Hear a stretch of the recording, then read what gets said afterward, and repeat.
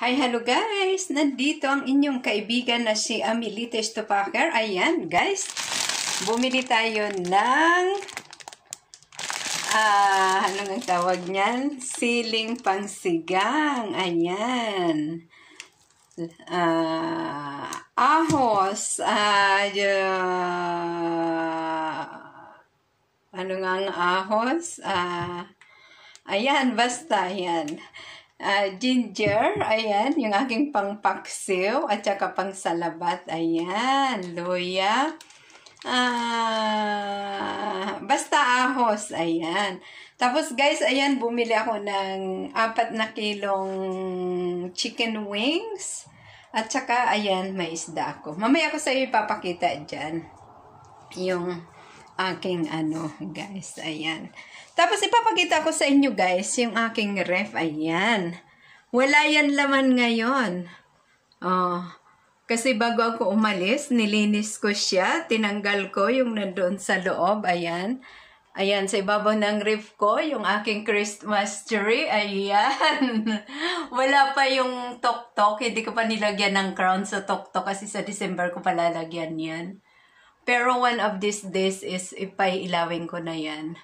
Ayan. Ito yung ref ko. Ayan. Uh, bali, itong ref ko, two doors. Ayan. Yung, yun sa baba, yung panggulay, at saka kung anik-anik. Itong sa taas, ay, ayun, may smiley ako every morning. Just smile. At may kawa ko dyan. Ayan. Tapos, itong map na to, guys, map yan ng transportation nila dito sa Austria. Ayan. Ayan, may kanan ako. At saka, mayroon akong kaw kawali, kawa, ayan. Tapos, ayan, oh. Pupunayin ko yan mamaya kasi ang dami kong pinamili na na manarks. Ayan. Ayan naman yung aking maliit na kalan. Ayan. So, guys, ilalabas natin aray ang ating manok. Ayan, guys. Pagkadami-dami ng aking manarks. Ayan. Diba? So, super dami siya.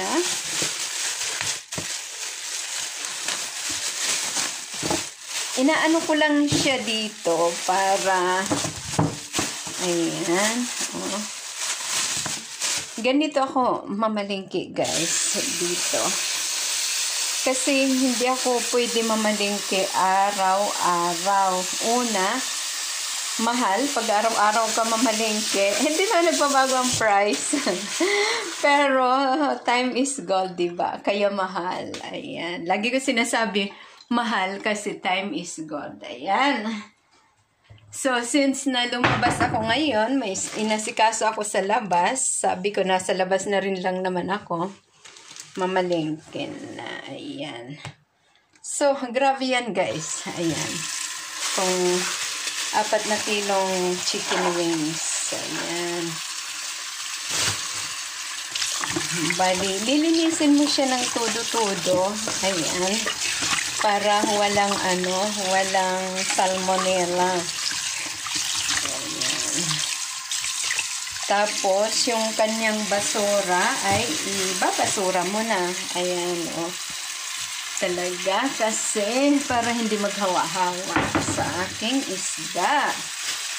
At saka guys, ayan, meron akong paboritong binili ko.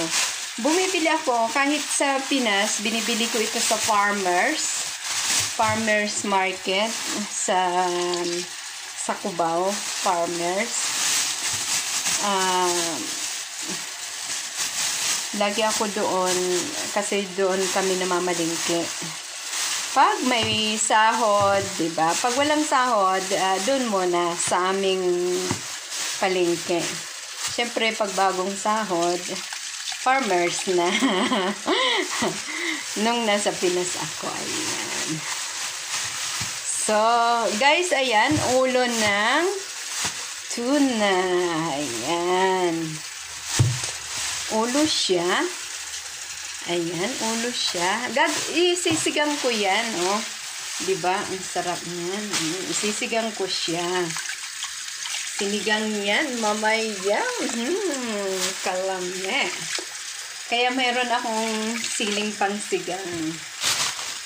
Tapos, guys, ito, bumili rin ako ng uh, paborito ko ito sa Pilipinas, sa uh, galunggong, o kaya ito, ang tawag nito sa amin, salinas. Ayan. Salinas. Or tamban sa Binisaya. Tamban yata ito. Basta isdang, isdang maliliit. Ayan. Salinas sa amin. Masarap pag ipaksiw. Tapos, uh, syempre, ito. Ayan.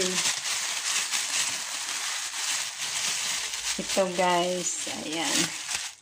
Uh, bumili rin ako nito.